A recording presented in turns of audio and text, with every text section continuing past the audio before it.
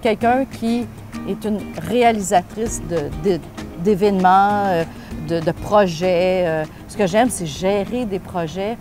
Euh, moi, je tout le temps, moi, je ne gère pas des, problèmes. Ça ne mm. m'intéresse pas. Je gère des solutions.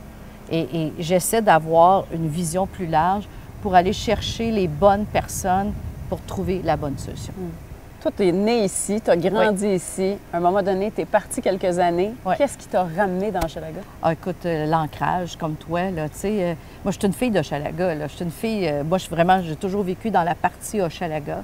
et, je continuais à avoir mes activités. Tu sais, je faisais du bénévolat dans Hochelaga. J'étais présidente du centre communautaire Hochelaga.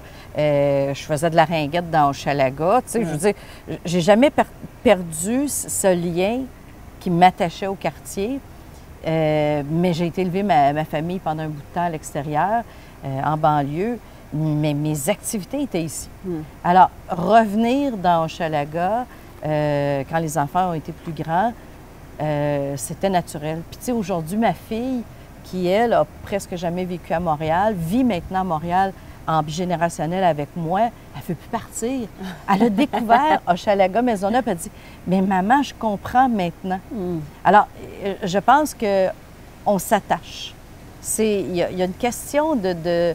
je ne sais pas comment l'exprimer, mais il y, a quelque chose en, dedans de nous qui fait que ce quartier-là, il vient nous chercher par les tripes, puis on, on se l'approprie, puis on veut juste le faire rayonner. Moi, c'est mon but comme députée, puis comme citoyenne, c'est de le faire rayonner et d'y enlever son étiquette de mépris qu'on euh, y donne, parce que ça, c'est injuste. Le monde est beau dans Chalaga Maisonneuve. Le monde sont généreux, sont solidaires. Tu l'as dit, ils sont solidaires. Et c'est ça qui est beau dans Chalaga.